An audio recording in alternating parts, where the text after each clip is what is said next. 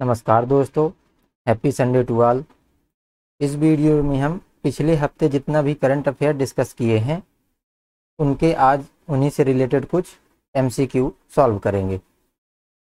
ये हमारा weekly current affair का शेड्यूल आज संडे है और आज हम करंट अफेयर के कुछ एमसीक्यू सॉल्व करने वाले हैं।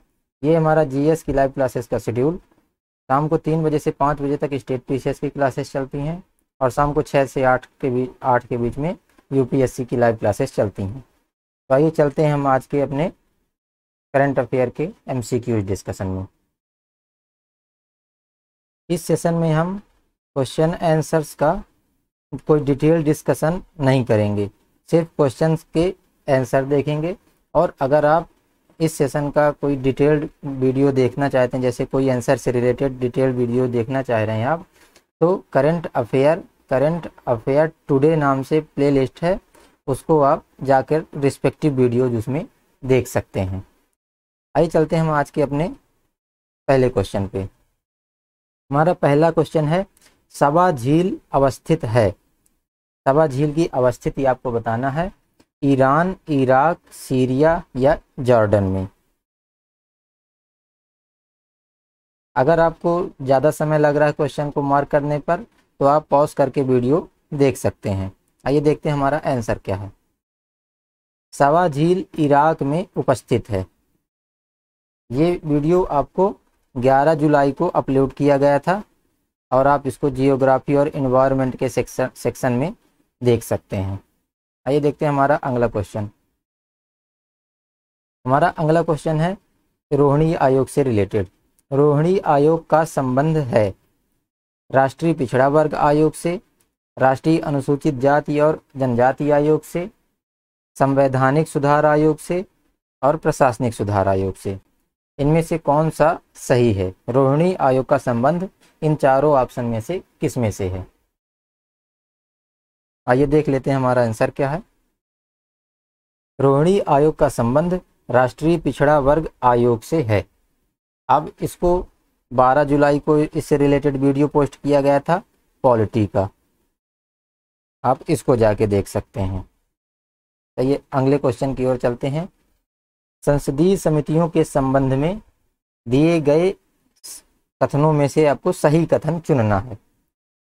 पहला है, संसदीय समितियाँ राष्ट्रपति द्वारा नामित होती हैं।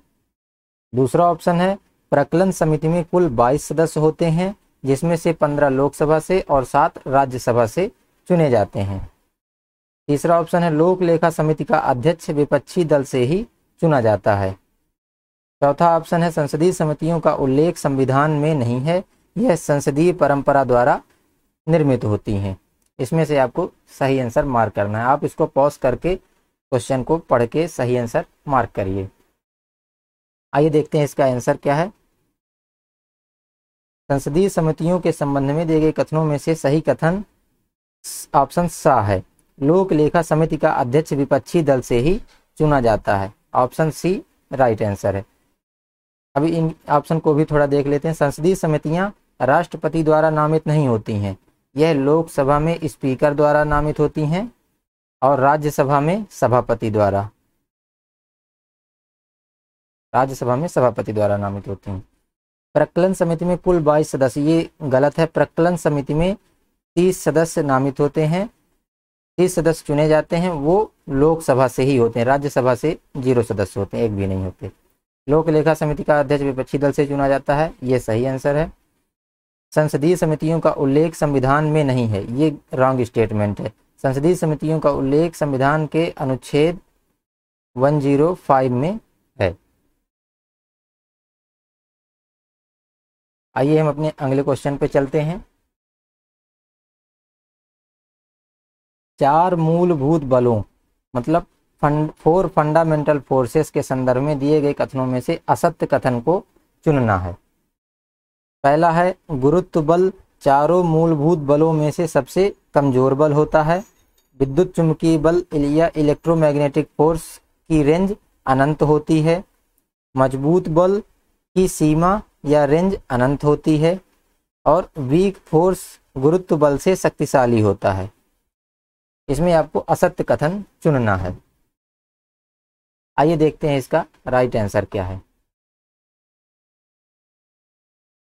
इसका राइट आंसर है ऑप्शन सी स्ट्रांग फोर्स की रेंज अनंत होती है। ये इसमें असत्य है। आपको असत्य कथन चुनना था, ना कि सत्य।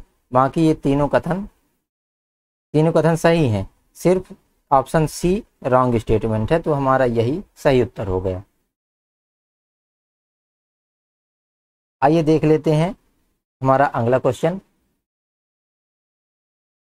निम्नलिखित कथनों पर ध्यान देना है। बायो कैप्सूल रूसी अंतरिक्ष एजेंसी का एक इनोवेशन है, नवाचार है। बायो कैप्सूल रूसी अंतरिक्ष एजेंसी का एक नवाचार है। ऑप्शन दूसरा ऑप्शन है बायो कैप्सूल का उपयोग रूसी अंतरिक्ष यात्रियों के भोजन या पोषण आवश्यकताओं की, ये गलत हो गया, पोषण आवश्यकताओं की पूर्ति हेतु किया जाएगा। इसमें से आपको सही कूट का चयन करना है। कथन आ सही है, कथन बा सही है, आ बा दोनों सही हैं और कथन आ और बा दोनों गलत हैं। इनमें से आपको राइट ऑप्शन चूज़ करना है। आप इसको पॉज करके भी आंसर इसमें दे सकते हैं। आइए चलते हैं। हम देखते हैं हमारा इसमें राइट आंसर कौन सा है। बायो कैप्सूल रूसी अंतरिक्ष एजेंसी का एक नवाचार है। यह एक गलत स्टेटमेंट है और बायो कैप्सूल का उपयोग रूसी अंतरिक्ष यात्रियों के पोषण आवश्यकताओं की पूर्ति हेतु किया जाएगा। ये भी रॉन्ग स्टेटमेंट है। अगर आप इसका डिटेल्ड वीडियो देखना चाह रहे हैं तो यह आपको तेरह जुलाई या शायद चौदह जुलाई को हमने इससे रिलेटेड करंट अफेयर में डिस्कस किया था। ये आपको साइंस टेक के वीडियो में मिल जाएगा। इसका सही उत्तर है फोर्थ नंबर का। आ और बा दोनों गलत हैं। आप इसको साइंस टेक के वीडियो में देख सकते हैं, इसका डिटेल्ड आंसर आइए हम अपने आज के अगले क्वेश्चन पे चलते हैं। व्यापार सुधार योजना। इसको बी आर ए पी भी कहते हैं। व्यापार सुधार कार्य योजना रिपोर्ट जारी की जाती है। इसमें पूछ रहा है कि किस विभाग के द्वारा जारी की जाती है? डीपीआईआईटी उद्योग संवर्धन और आंतरिक व्यापार विभाग, जो कि वाणिज्य एवं उद्योग मंत्रालय द्वारा जारी की जाती है। उद्योग संवर्धन और आंतरिक व्यापार विभाग, ये वाणिज्य और उद्योग मंत्रालय के अंतर्गत का एक विभाग है। इसके द्वारा जारी की जाती है। नीति आयोग द्वारा जारी की जाती है। या वित्त मंत्री द्वारा, वित्त मंत्रालय द्वारा, या भारतीय रिज़र्व बैंक द्वारा। व्यापार सुधार कार्य योजना रिपोर्ट जारी की जाती है। उद्योग संवर्धन और आंतरिक व्यापार विभाग, वाणिज्य एवं उद्योग मंत्रालय द्वारा, नीति आयोग द्वारा, वित्त मंत्रालय द्वारा, या भारतीय रिज़र्व बैंक द्वारा। आपको इन चारों ऑप्शन में से सही ऑप्शन चुनना है। आइए देखते हैं इसका राइट आंसर क्या है।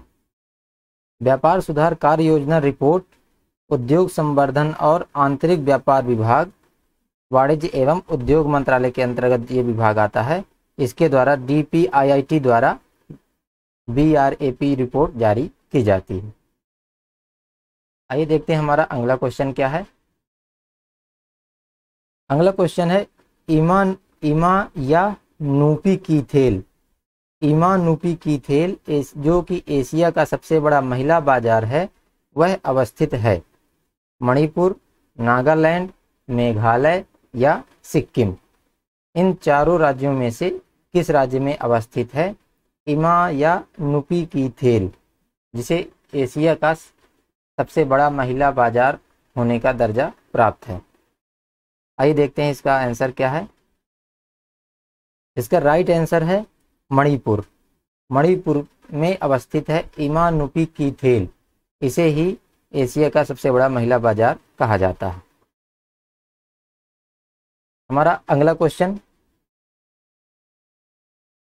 सूर्य मंदिर से संबंधित है। भारत में अवस्थित सूर्य मंदिरों में से कौन सुमेलित है? आपको ये चार सूर्य मंदिर दिए गए दिए गए हैं। ये भारत में ही अवस्थित हैं और ये किस राज्य में है? इनका आपको सही जोड़ी मिलाना है सुमेलित करना। है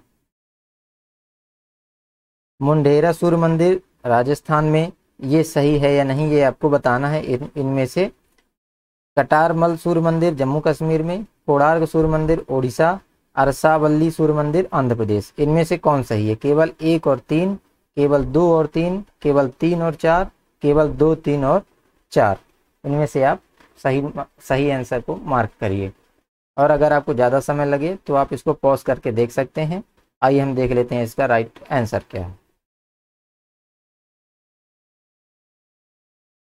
इसका राइट आंसर है मुंडेरा सूर्य मंदिर गुजरात में अवस्थित है, कटारमल सूर्य मंदिर उत्तराखंड में अवस्थित है, और कोणार्क का सूर्य मंदिर उड़ीसा में, और अरसावल्ली का सूर्य मंदिर आंध्र प्रदेश में। ये सही मिले हुए हैं। इसके इसके हिसाब से हम देख सकते हैं कि हमारा सही आंसर क्या है? तीन और चार। केवल तीन और चार ही सही सुमेलित हैं। बाकी ये दोनों गलत हैं। मुंडेरा का सूर्य मंदिर गुजरात में है और कटारमल का सूर्य मंदिर उत्तराखंड में है। आइए अपने अगले क्वेश्चन पे चलते हैं। हमारा अगला क्वेश्चन संथाल जनजाति से रिलेटेड है। संथाल जनजाति द्वारा बोली जाने वाली संथाली भाषा के साथ किस लिपि का उपयोग किया जाता है? संथाल जनजाति द्वारा बोली जाने वाली संथाली भाषा के साथ किस लिपि का उपयोग किया जाता है? शारदा लिपि, ओल चिक्की लिपि, देवनागरी लिपि या ग्रंथ लिपि? क्या आपको इन चारों लिपियों के बारे में जानकारी है? अगर है तो आप कमेंट बॉक्स में यस लिखिए। आइए देख लेते हैं इसका सही आंसर क्या है। इसका सही आंसर है ओल चिकी लिपि। संथाली भाषा के साथ ओल चिकी लिपि संबद्ध है और संथाली भाषा को ओल चिक्की लिपि में ही लिखा जाता है। आइए हम अपने अगले क्वेश्चन की ओर चलते हैं। हमारा नेक्स्ट क्वेश्चन नाटो से रिलेटेड है।